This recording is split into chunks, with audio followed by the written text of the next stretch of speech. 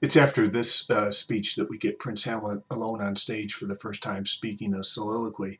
Uh, and, of many soliloquies, the, the role of Prince Hamlet, of course, is very demanding.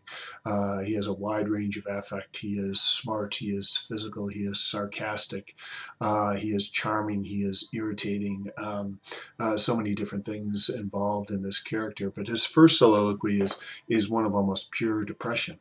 Uh, oh, that this too, too sullied flesh would melt, thaw, and resolve itself into a dew or that the everlasting had not forced his convict canon against self-slaughter. Oh God, God, how weary, stale, flat, and unprofitable seem to me all the uses of this world. Fie on it. Tis an unweeded garden that grows to seed. Things rank and gross in nature possess it merely. That it should come to this, and what it's come to is that his uncle has married his mother after a very short time after the um, uh, death of his father. Uh, Hamlet is incredibly depressed here and, and, incredibly world weary. Oh, that this too, too sullied flesh would melt. Uh, that is, at the moment, he probably really doesn't even have the energy to ponder suicide. He just wants everything to go away. Um, he's very close to what modern um, uh, mental health professionals would call, you know, sort of clinical depression. That point where uh, he's just not able to sort of get out of bed. That's going to change very quickly, but this is this is where he's at.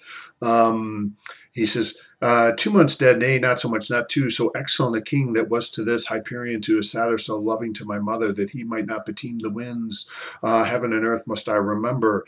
And what he does in this first long soliloquy then is going a long speech about the fantastic difference between his father, King Hamlet, and King Hamlet's brother, um, uh, Claudius, his uncle.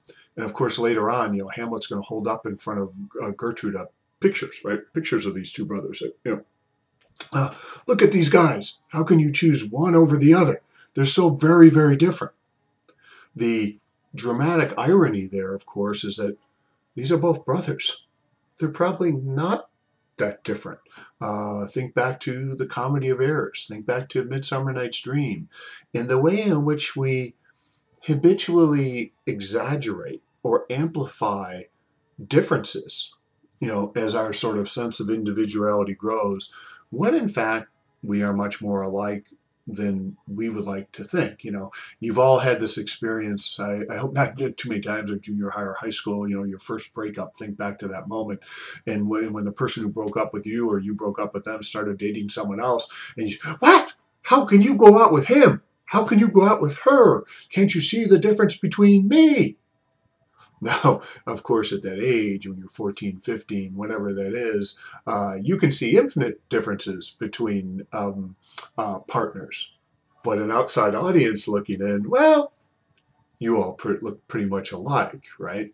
Uh, but Prince Hamlet here, again, sees this incredible difference between his father, King Hamlet, and his uncle Claudius. The issue with that, of course, is it doesn't seem like that many other people in the play see that difference, right? Quite the same way. Certainly Gertrude doesn't, right? Gertrude doesn't see a profound difference between the brothers. Uh, the rest of the society that allowed Claudius to become king instead of Prince Hamlet didn't see that difference. The only one who maybe sides with um, Prince Hamlet is Horatio, but even he is fairly neutral.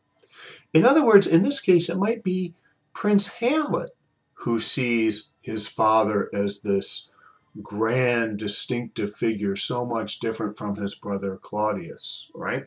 He says, uh, would they more longer married with my uncle, my father's brother, but no more like my father than I to Hercules. Hercules, of course, is a, a painted figure on the stage that the, the, the actor playing Hamlet is uh, gesturing to there. And of course, again, there's more dramatic irony, which is, you know, I'm part of the stagecraft, and so is that drawing of Hercules. You know, we're alike.